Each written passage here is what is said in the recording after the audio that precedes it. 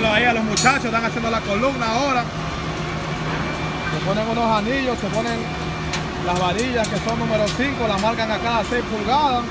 Después cada muchacho, como lo ven con sus amarradores, con sus playos, pasan al otro procedimiento que es amarrar cada anillo por medida.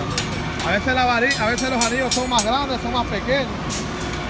Como ven, los muchachos trabajan muy rápido aquí.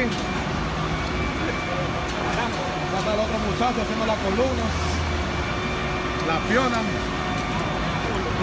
Estos son para hacer columnas para el edificio. Son número 4 los estribos. Hay número 5. Ese es el camión del tronco del cemento, como le gusta.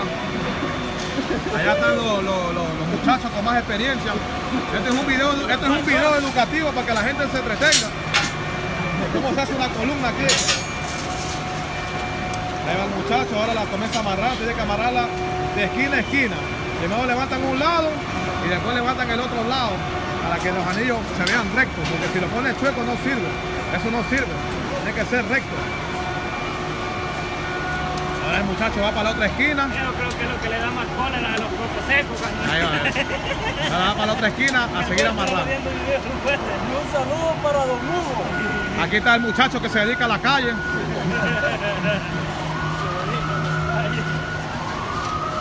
Ahí está mi amigo, 8 años. La gente, la gente tiene mucha experiencia. Tienen de 9, 8 y 7 años. Aquí, aquí está mi amigo con más experiencia, 8 años. Llamado 8 años, aquí está Enrique. Esto es un video educativo, cómo se hace una columna con anillos.